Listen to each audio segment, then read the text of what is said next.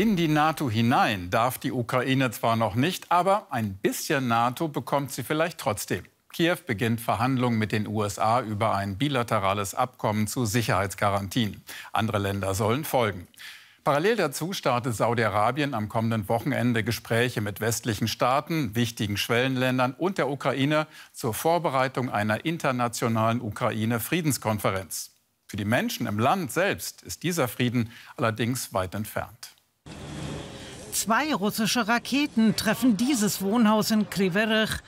Mindestens fünf Menschen sterben, darunter eine Mutter und ihre zehnjährige Tochter.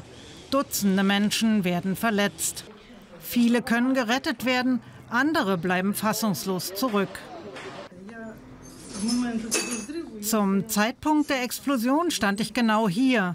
Davor gab es schon eine Explosion und dann brannte es. Ich schloss automatisch die Augen. Hinter mir sprang die Tür auf und alles fiel zusammen. Ich bin sofort zu meiner Tochter gelaufen, um zu fragen, ob es ihr gut geht. Sie hatte sich zwar noch rechtzeitig vor der Explosion weggedreht, aber Glassplitter haben doch ihr Gesicht leicht verletzt. In der ebenfalls südukrainischen Stadt Cherson stirbt ein Mitarbeiter der Stadt durch russischen Artilleriebeschuss. Zwei seiner Kollegen werden verletzt. Die russischen Behörden melden ihrerseits zwei Tote durch ukrainischen Beschuss in der besetzten Stadt Donetsk. Ein Bus brennt aus. Die Fensterscheiben sind zersprungen und der Bus hat sofort Feuer gefangen. Die meisten Leute konnten sich durch die Vordertür in Sicherheit bringen. Eine Person ist tot, wahrscheinlich der Fahrer. Außerdem wirft Moskau der Ukraine weitere Drohnenangriffe im Grenzgebiet vor. Vor allem aber kündigt Moskau nach den jüngsten Attacken an, ukrainische Militäreinrichtungen noch intensiver anzugreifen. Am Sonntag waren im Moskauer Finanz- und Geschäftsviertel Drohnen und Trümmerteile eingeschlagen. Kiew bekennt sich offiziell nicht dazu, aber allmählich kehrt der Krieg auf das Territorium Russlands zurück, in seine symbolischen Zentren und Militärbasen, und das ist ein unvermeidbarer und absolut fairer Prozess. Die ukrainische Seite will sich offenbar am Wochenende mit den Sicherheitsberatern von Verbündeten in Saudi-Arabien treffen. Moskau ist nicht eingeladen. Russland wird dieses Treffen verfolgen. Es bleibt abzuwarten, welche Ziele gesetzt werden und worüber die Organisatoren sprechen wollen. In der vergangenen Woche hatten schon Vertreter afrikanischer Staaten bei Kremlchef Putin erneut für ihre Friedensinitiative geworben. Eine angekündigte Erklärung dazu liegt bis heute nicht vor. Matthias Böhlinger ist DW-Korrespondent in Kiew. Matthias, erst die Friedensinitiative afrikanischer Staaten, jetzt folgt Saudi-Arabien. Wie viel Hoffnung setzt die Ukraine da hinein?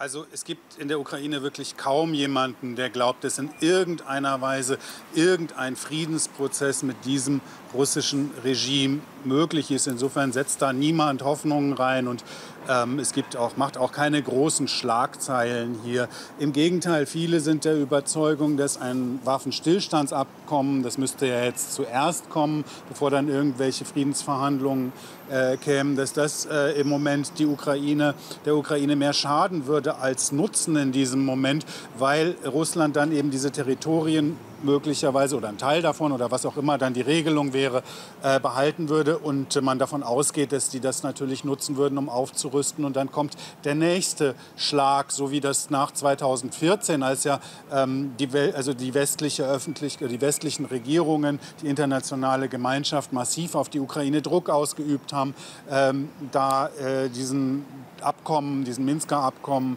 zuzustimmen und damals vielleicht auch, weil die Ukraine in einer sehr viel schwächeren Position war. Aber aus der jetzigen Sicht ähm, ist die Vorstellung, dass man über einen solchen Prozess zu einem Frieden kommen kann, die gilt hier als hoffnungslos naiv.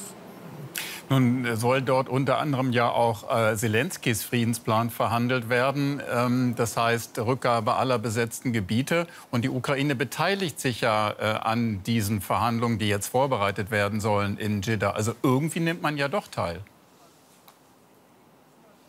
Ja, ja, also man nimmt, und bisher hat die Ukraine an allen Initiativen immer teilgenommen. Sie hat sich immer mit allen getroffen. Man will hier auch nicht den Eindruck erwecken, dass man hier irgendwie blockt oder dass man hier irgendwie nicht äh, daran interessiert ist. Das ist das eine. Und das andere ist, dass natürlich hinter den Kulissen auch immer wieder in, aus solchen Gesprächen gewisse ähm, Lösungen für kleinere Probleme hervorgehen. Gefangenenaustausche finden ja statt. Die müssen ja vereinbart werden, sonst könnten die ja nicht stattfinden. Also es ist keine Verweigerungshaltung hier in der Ukraine. Nur wenn Sie nach einem Friedensplan fragen, da sind die Hoffnungen sehr gering. Man fühlt immer wieder vor, man hört immer wieder vor, aber ähm, die, der Glaube, dass sich einfach nur mal beide zusammensetzen müssten, der ist nicht vorhanden. Mhm.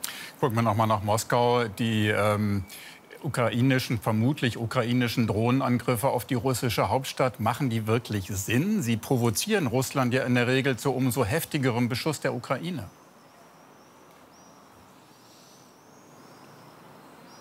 Auch da gibt es Zweifel dran, weil äh, zwar tatsächlich oft Beschuss folgt, der dann von Russland als Antwort ausgegeben wird, aber man geht hier oft davon aus, dass dieser Beschuss so oder so äh, geplant gewesen sei oder so oder so kommen würde. Denn Russland beschießt ja durchaus anlasslos ukrainische Städte und äh, nicht, wartet nicht auf ähm, sogenannte Provokationen. Was diesen konkreten Fall dieser Drohnen auf Moskau angeht, äh, das sind ja nicht die ersten. Also, dass hier sozusagen die Ukraine an einer großen Eskalationsschraube äh, dreht, das ähm, äh, wird hier nicht so gesehen. Und ähm, es ist eher so, dass man sagt, man muss, äh, so, wenn man aus dieser Position herauskommen möchte, in der man jetzt ist, äh, wo man sozusagen immer wieder Opfer von diesen Angriffswellen aus Russland wird, muss man eben die russische, äh, auch die Organisation des russischen Staates mhm. und äh, das Sicherheitsgefühl, das die Menschen in Russland haben,